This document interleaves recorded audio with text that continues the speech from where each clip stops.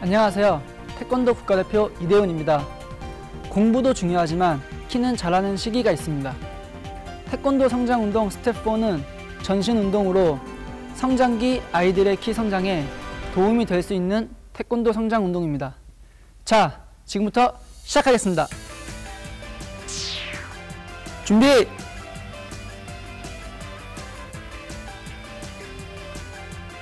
양손 얼굴 맞기 동작에서 허리를 숙이는 동작으로 연결됩니다. 시작!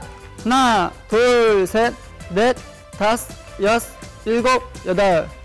손으로 걷기 동작 네 박자, 허리를 세우는 동작 네 박자 후 뒤로 젖혀주는 동작 네 박자, 손으로 걷기 동작 네 박자로 연결됩니다. 그럼 함께 해보시겠습니다. 시작!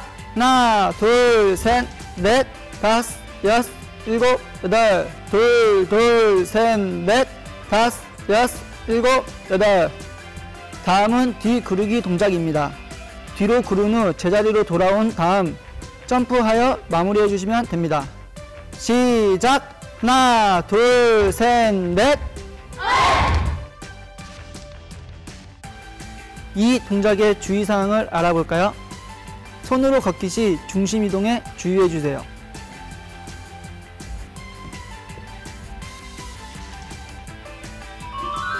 뒤로 이동 시 무릎은 펴주고 어깨는 늘려줍니다. 뒤로 구를 때 턱을 당겨줍니다.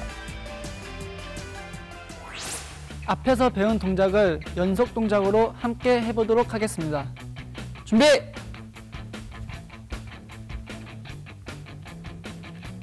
시작!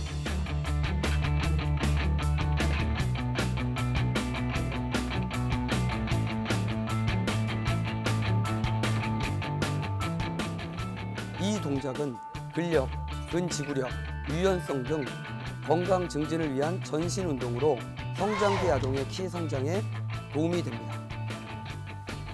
아이의 키가 작아 고민이라고요? 그렇다면 더 늦기 전에 아이의 손을 잡고 태권도장의 문을 두들겨 보세요. 태권도를 하면 키가 쑥쑥 자란답니다.